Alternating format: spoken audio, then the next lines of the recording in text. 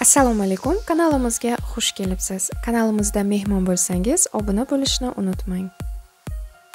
Assalomu alaykum hammaga xayrli kech.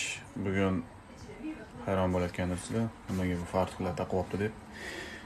Bugun oilamga shirin bir mazali noyob ovqat qilib bermoqchiman.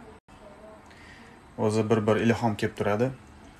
Shu ilhom kelganda bosib bitta zo'r ovqat qilib beray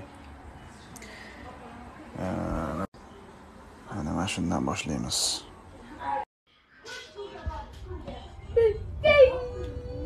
mana yenglarini shimarib oldik oyoqchalarini yenglarini ko'tarib xullas e, shu tarzda pishiriladi hozir ko'rsataman qanaqa qilib pishirishni hmm, erkak kishini qo'li shirinmi ayol kishinimi degan savolga manimcha ko'pchilik erkak kishini qo'li shirin bo'lsa kerak deydi. Chunki bizni qo'limiz nimaga shirin chunki mas'uliyat bilan yondashamiz.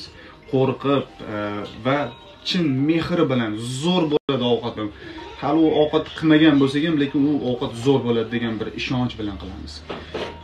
E, kam qilganligimiz uchun mehr bilan qilamiz. Ko'p qilgan odam endi har kuni ham manimcha qilavergandan keyin shu mehrni qilmasa kerak shuning uchun og'izda yayiladigan taom. Tushungan tushundim yayiraverasiz adasi Vay vay vay hey kubu adası. Bunun kalına kuğru attıla. Yani bunu başka kişiler usullarda. Bu avukatımızın namı Çuka Çukus değil adı. Çuka Çukus. Vay hey vay vay hey diye bunlar. Göreyim mi? İşte hanaştı. Hmm, Nima bu güzellik.